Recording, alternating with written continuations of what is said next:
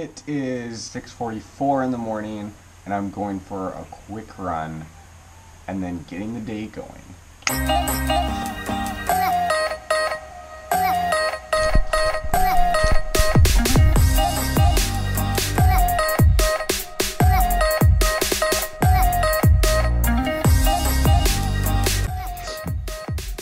The light up here is absolutely amazing. I don't know how well it's gonna show up on the GoPro, but you can see like just very defined streaks and rays of sun coming across the mountain.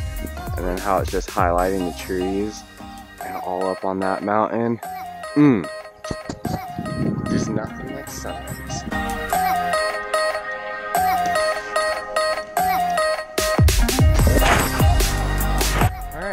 Done at the camp. Gonna run back to my house and get some breakfast and get ready for the day.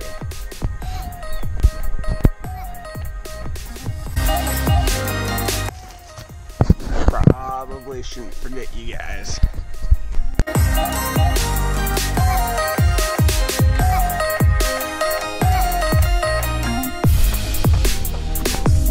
That light though, it's just so nice.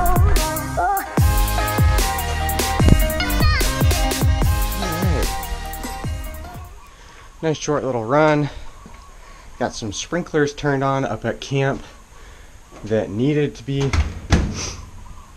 One, uh, while these other camps are here, we're having to sprinkle, uh, just turn on the sprinklers at night. And since we don't have a sprinkler system, uh, that means that we can't really water everything every night. So I think what I'm going to be doing is going up early in the morning. I got a later start than I wanted to.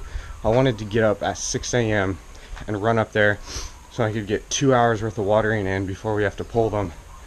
I'm only getting about an hour in, but an hour is better than nothing. And so it's eh, it's nice because it's a motivation for me to go running because they're going to be here for three weeks. So if I can stay committed, dedicated, that'll be running basically six days a week for three weeks. I'll be doing this, um, and it's not very far, but it's enough to get some exercise and um, just get out in the morning and enjoy the fresh air. So I'm really glad I decided to do this this morning, and I'm gonna continue to do it. So. Mostly because of this light. Like I mentioned up there, this light is unreal. I love early morning light. There's just something about it.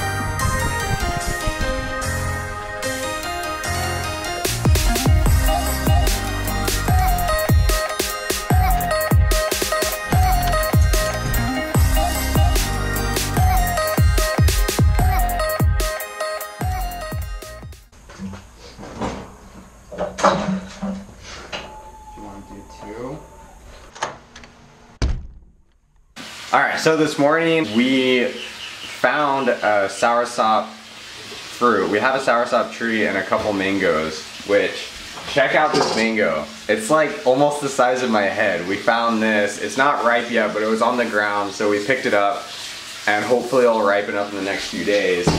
But our first ripe soursop. So we are going to cut it up. And we watched a video. We didn't know how we were supposed to eat or anything, but apparently you just cut it open in half. And as long as you don't eat the seeds, you can just scoop it out with a spoon, eat everything but the seeds.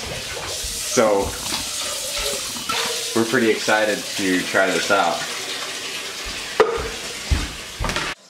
Alright, so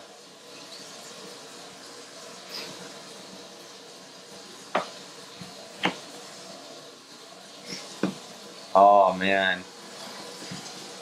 It smells weird. Yeah. Check that out. It's just uh it's supposedly pretty sour. Obviously for the name sour sop. These seeds you don't want to eat. They are very bad for you. I don't know. I guess you're supposed to just eat it with a spoon. So I'm going to grab a spoon. Careful, because there's a, you can kind of see some more Yeah. seeds down there, so What do you think? I got a spoonful. it doesn't taste bad.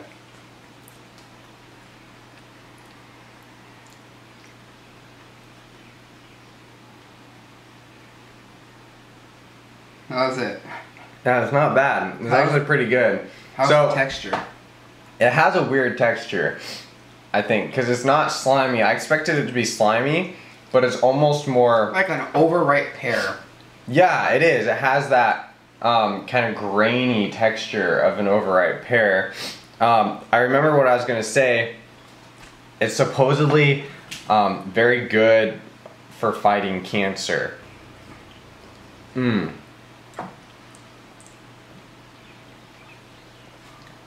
It really is quite good. It's just weird. It's not what I expected at all. It has like these kind of stringy almost layers to it, but then there's kind of pulp and mushy mushy pulp in between. I don't know, it's it's really strange. The juice isn't like it's not really typical juice. It comes out as more of a film or like a filmy pulpish type mm-hmm. stuff. I can see where it would be good in, in like a juice or something. Like if you juice them. Yeah, I'm having a hard time. Oh shoot. I'm having a hard time deciding whether I really like it or not. I mean, it doesn't taste bad. It tastes. Yeah. It actually tastes fairly good, but it's just. It's like one of those things where it's good, but I there's just something about it that makes it really weird and not. I think it's the more the filmy. It's not like Yeah. a juice, not like a liquid. It's not like an apple, like a good apple or orange or something. When you bite into it, it's like an enjoyment in eating it almost. This is like it. It tastes fairly good, but it's just it has such a weird Over experience. watery mashed potatoes. Yeah, it really is. It's like it feels like it should be a crunchy fruit, or it tastes like it should be more of a crunchy or crisp fruit, but then it's mushy and watery, but not like the good orange juicy type juicy. It's just it, it's weird. I don't know how to explain it.